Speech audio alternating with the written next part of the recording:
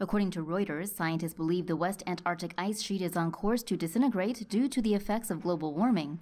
This would trigger a global sea level rise that would leave many coastal cities, such as New York, underwater.